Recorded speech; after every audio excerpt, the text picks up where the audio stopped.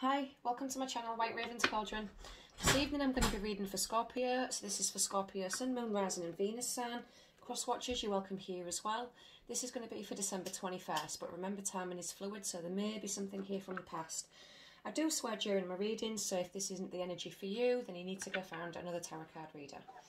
So what is coming towards Scorpio, please? December 21st. What is coming towards Scorpio, December 21st? Oh. Scorpio, Sun, Moon, Rising, Venus sign. Okay. Okay, what's coming towards Scorpio, December 21st? Oof, the Emperor reversed. So you could be dealing with an Aries. Um, this is definitely a challenge, Scorpio, the Emperor reversed. This is somebody who's quite bullyish. Um, they're very narcissistic, very overbearing, very overpowering. Somebody who likes to have their own way. Very greedy and self-centered, and it's all about them. This is the Emperor show. This is somebody who has all the empathy in the world for themselves and their problems, but they don't have empathy for anybody else. And this is also a problem maker so they create drama. They create drama between friends, family, um, you know, going from one person to another, could be trouble causing. Um, it could also be having issues with a father, brother, or male friend of some sort, or it could be an ex-partner. Um, it's similar to the King of Swords reversed. It's very narcissistic and very shallow as well. There's no feelings with the Emperor. It's definitely a bullyish energy. So what's the strength when facing this for Scorpio, please? What's the strength when facing this for Scorpio? Ugh, the Ten of Wands. So you're shouldering all the burden, uh, burden Scorpio. Again, Aries, Leo, Sagittarius. Some of you may have physical back problems or somebody you're dealing with has got physical back problems. But this is you need to you need to learn what is important. You've got way too many issues responsibilities and you're just getting bogged down with it. You're tired you're exhausted. And a lot of these responsibilities aren't yours. A lot of the problems or the issues or, or it's everybody else's shit. It's everybody else's fuckery and you're just taking it on your shoulders. You're just struggling along carrying this burden and there's no help What's the weakness, please, when facing this? And I think you're taking a lot of shit from this person. You are. You're taking a lot of shit. They're just expecting you to do everything. What's the weakness, please?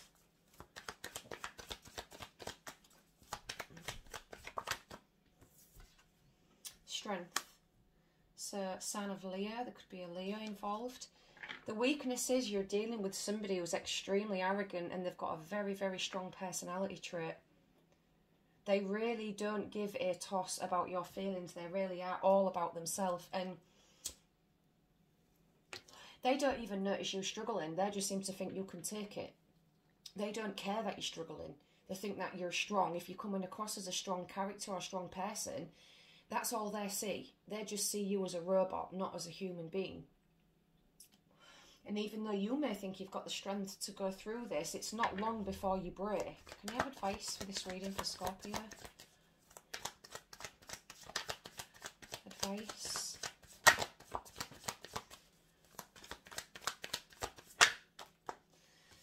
Okay, so we've got the High Priestess and the Eight of Wands reversed. You know what you need to do, Scorpio, but you're just point blank refusing. You're, you've shut off communication this person may have shut off communication with you. You know exactly what's going on. And the High Priestess, you could be dealing with the Pisces. Again, we've got Aries, Leo, Sagittarius. You need to break free. You know exactly what needs doing. You've got the initials uh, JB or BJ. But you know exactly what needs to be done. But for whatever reason, you're holding off. You're holding back. Um, there could be a lot of... Um, malicious um, communication with this person as well, or you may not be in communication at all. They may be ghosting you of some sort. But the universe is, is in your guards are begging you to, to tap into your, your intuition. You know, you have the answers to this situation. You know what you need to do to break free. What's the Emperor reverse for Scorpio, please? The Queen of Coins. So yeah, this is a very, very, a very successful person. They they do work hard, and they they're very. This is somebody who could be self-employed, have some sort of self-employment. Hmm. Could be a Virgo, Taurus, Capricorn. But somebody is letting money go to their head and you are the queen in this situation, but I can see you're shouldering way too much. Maybe you're attached to this lifestyle that they create. Almost like the home and the money, like everything else is available and there and ready that suits you, except the person you live with. What's the Ten of Wands for Scorpio? Clarify the Ten of Wands. the Empress. So off the back, some of you may be pregnant or heavily pregnant. And again, you're still taking on all the responsibilities, all the duties. You are an, an extremely good mother or father. You're very motherly, very fatherly. You're very empathetic. You take good care of yourself. You take good care of your home. But I think all these responsibilities, everything seems to fall on your back all the time. And even though you like creating the home and creating a nice clean space for yourself and your family, you're still struggling, you're shouldering all the burdens. Um, the Empress also indicates you wanting to venture out and do something for yourself and the universe again is screaming for you to do that because you will be more successful. What's the strength card please? Clarify the strength card.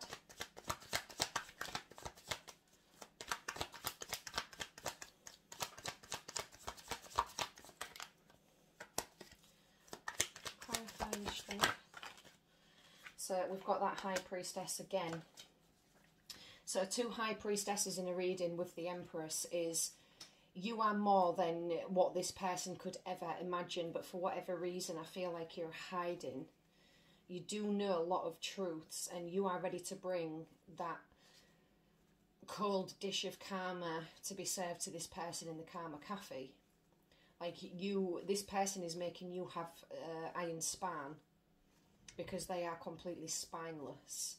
So you you are the one with the iron span here, and with two high priestesses, it's saying you know you could be, you may be a little bit too reliant on tarot card readers or psychics to to to get answers when the answer really lies within yourself. The universe is saying you know what needs to be done. But there is also a warning here with two high priestesses. Can you clarify the high priestess and eight of wands reverse? Again, could be dealing with a Pisces. The chariot choices, making a choice and going with it. You need to make a choice and go with it. The universe is saying it's got your back. It won't let you make any mistakes. Could be dealing with a cancer. You won't go wrong. Could be getting a new vehicle for somebody as well or travelling, needing to travel. But this is taking control. Final outcome, please, for Scorpio.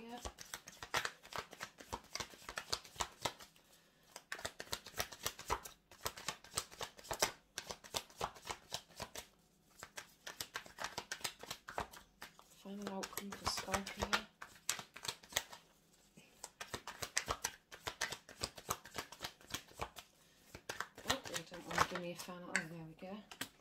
The Two of Cups. So yeah, it's definitely a relationship we're dealing with here. And you do love this person very much. There's just a lot of negativity that's going on. And for whatever reason, somebody may be prematurely giving up on this connection. Um, not staying, have no staying power. And I think either you or this person has walked away before, but it's almost like they're in and out all the time. Again, Cancer, Scorpio, Pisces. Can you have a Queen of the Moon, please, for Pisces? Change. So change is on the horizon. Can I have a Seven Energies for Scorpio, please?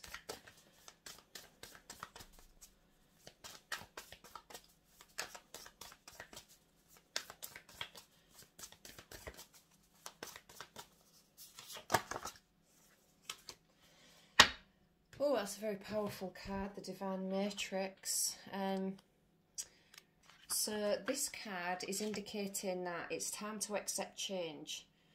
You know, life, you need to accept life. Like the seasons, things always change and there is a change that's about to happen.